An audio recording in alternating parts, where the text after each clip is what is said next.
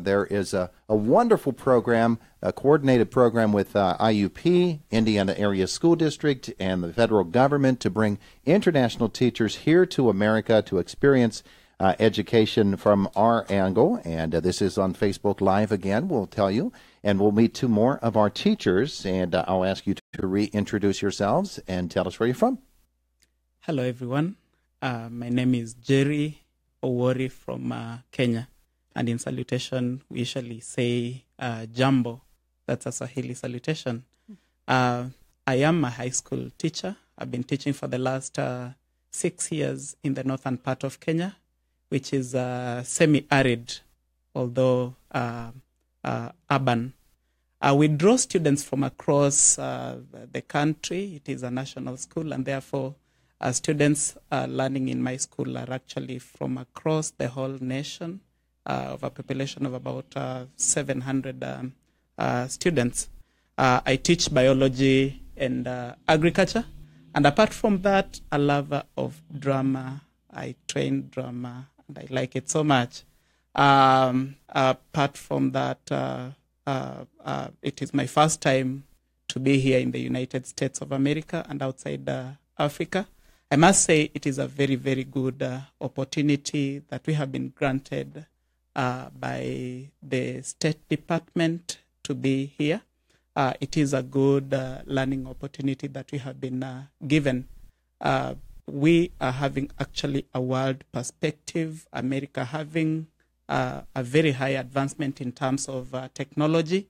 We are learning how to use some of these technology tools so that we can be able to actually transfer the same knowledge back to our countries.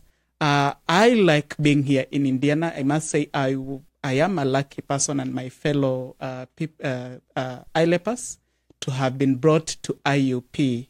Uh, the Indiana community are very, very warm people. You meet somebody in a supermarket, and the first thing you uh, you get is uh, actually a smile, and that is so welcoming.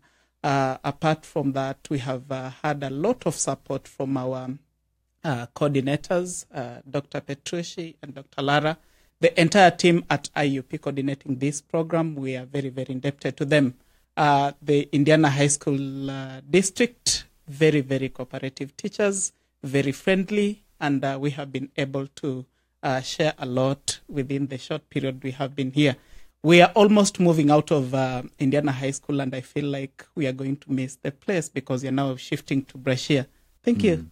I'm, I'm interesting the breadth of teaching experiences that you have biology, agriculture, and you also have an interest in drama. Yes. Josh is an actor here with Ah, our local great, theater I'm an company. actor. and uh, and uh, it, it's just fascinating to me that um, that you have that that depth of, of teaching experience. Uh, Yes. When you come to here to Indiana, obviously the agricultural season is not at its peak, of the farming. Uh, but uh, do you have the opportunity to uh, to learn about agriculture here, as opposed to uh, the, Indiana isn't exactly semi-arid as as you describe your country. Yes.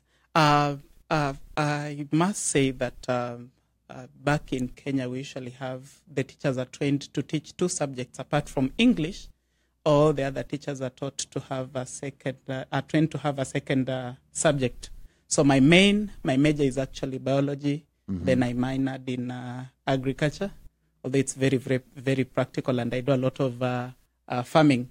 I've not had an opportunity to see farming going on around Indiana, but I must say I'm very grateful to my partner teacher, Mr. Warwick. Uh, he was able to take me through a certain farm that does grocery from the east. With the, the, uh, there is a certain park uh, down here. I can't remember the name. Uh, I was passed through a certain farm and he showed me some grocery uh, Oh, farming okay. uh, taking place, and I'm very, very uh, happy to have seen that. Uh, uh, drama is passion. I've, I've not been trained to actually train drama, but I find it uh, uh, very interesting to come down to the learners and uh, be able to nurture the young talents. Wonderful, wonderful. Let's meet another of our teachers uh, here for this wonderful program from Brazil. Yeah, hello everyone. I'm Eliza. I'm from Brazil. I'm um, an English teacher. English is my first love since I was a little kid, and then it became a profession. So I started teaching English as a second language, and from two years ago, until now, I started teaching Spanish, and I also have a dance group in Brazil because we are dancing everywhere. And my, yeah, my fellows here can tell that because I still dance here, and people stare at me on the streets, and then I notice that I'm not in Brazil. Is that what it took? Yeah. to know that you were not in Brazil. Yeah, just that time when I start dancing.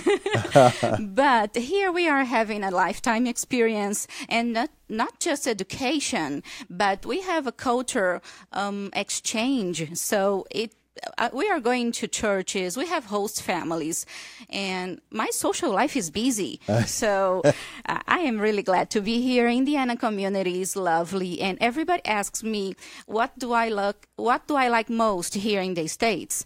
And then I started thinking, "Oh my God, I love so many things around here, but the most is people." I love people here. I love American culture. Brazilians are fans of the United States. So this is a dream come true. Oh, it's so good to have you here, and, and it's fascinating to me what you say about um, you know we hear and the Olympics having just been a couple of years ago, exactly. and we we got a chance to see some of the Brazilian culture. Uh, it, it's interesting to me how you can compare that to the American culture and the way that we express ourselves here, yeah. uh, and within the family. Because uh, you've brought up something that um, that we haven't been able to speak with others about, and, and yeah. that is the fact that you have host families yeah. with whom you stay. Exactly. Yeah. Tell me about uh, meeting them and, and living with them for a, a couple of weeks. Yeah, um, in fact, we don't live with them. We live in the university towers. Oh, I see. But we have fam- uh, host families because we can have dinner with them and we can go out, see a little bit more of American culture and how a family um, is here. Mm-hmm. So my family is um, mu- they are musicians, and I love music. So um, this Monday, for example, I went for dinner with them, and uh, they asked me to bring a CD with Brazilian song. So I had that collection. I explained Brazil culture in general, but I also explained my regions because Brazil is huge. We have 26 states and a federal district, and each region has its own culture. So I am here to represent not just my country, but also my region. Well, it's wonderful to have you. Thank, Thank you for you. sharing your experiences with us. We also have some educators from Indiana Senior High, uh, and we want to talk with both of them because the opportunity to um, meet with and work with um, these wonderful international teachers um, has to be a thrill for both of you. Yeah, certainly. Yeah. Um, so reintroduce yourself so folks know who we're, who's speaking. Yeah, I'm Jim Dykin. I'm the uh, senior high French teacher at Indiana High School. And Melinda Osterling, math teacher at, sen- at the senior high school. Mm-hmm. So uh, tell me about um, uh, meeting these folks and working with them in these last several weeks and what it's been like for you from a teacher's perspective. Yeah, so this is my third year working with ILEP. Um, as a language teacher, I think maybe I have a different perspective because I spend pretty much all my waking hours doing a sort of cultural exchange and trying to promote cultural exchange. So I know I remember a few years ago when Wade came and asked me if I'd be interested. I was extremely excited to have the opportunity. I've been lucky enough to have in each of my years an ILEP fellow who's worked with me in my classroom who comes from a French speaking country. Uh, this year I'm hosting uh, a teacher from Morocco. Uh, last year I hosted a teacher from Senegal. So we've had a chance to bring them into the classroom, uh, let them teach my students about their, their native culture, their native language uh, in a way that's really authentic.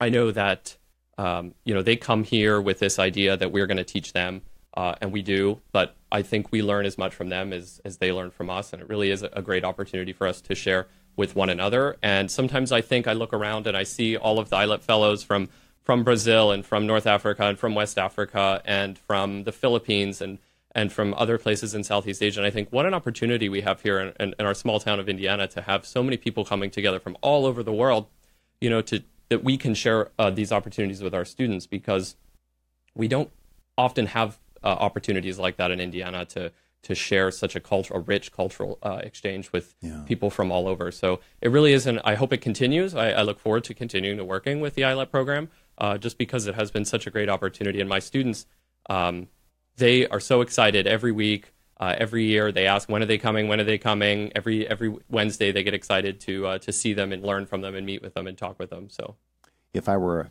foreign language teacher and people who speak that native that as their native tongue i would be so intimidated I, would I, mean, I can't even speak English, let alone. And, and that's You're doing a, all right. That's supposedly my native tongue. Melinda, what about you and uh, your perspective?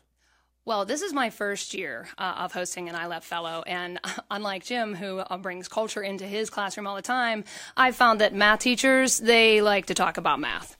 And uh, but this was an interesting experience for me because it was really, really valuable. Uh, I I went in and, and, tried to be very open minded about it, and I am so thankful that I agreed to host because uh, I'm working with May from the Philippines, and she has brought energy and excitement and really an interesting uh, perspective on her culture and how math is taught in her home country. So just as they are learning from us, we are learning an awful lot uh, from other people too. So I've been very grateful that that she's come in and been so welcoming and so open uh, to talk about all of her experiences as well as asking me questions about my experiences here in the United States. Drawing on my experience as a dad, and when my son was in elementary school, and I could actually do the math with him because once he got to the high school level, forget it.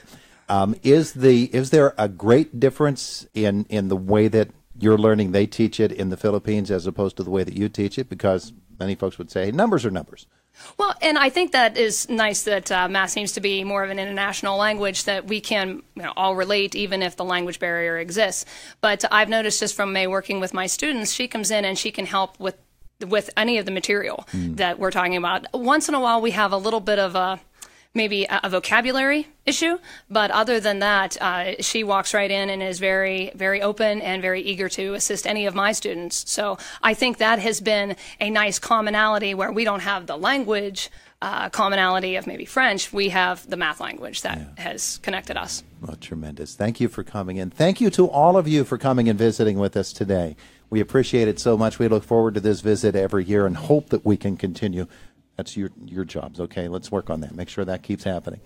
Thank you all for coming in. It is Indiana in the Morning, presented by First Commonwealth Bank here on WCCS AM 1160, FM 101.1.